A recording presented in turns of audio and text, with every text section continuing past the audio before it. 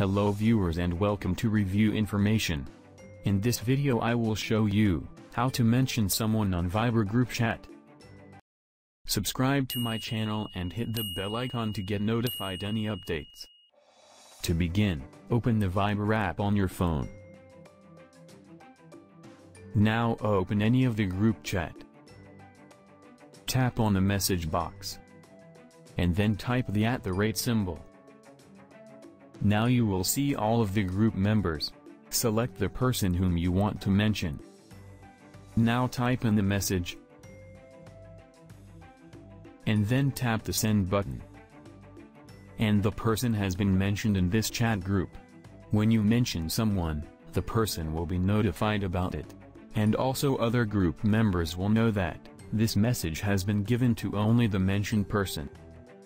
So in this way, you can mention someone on Viber group chat.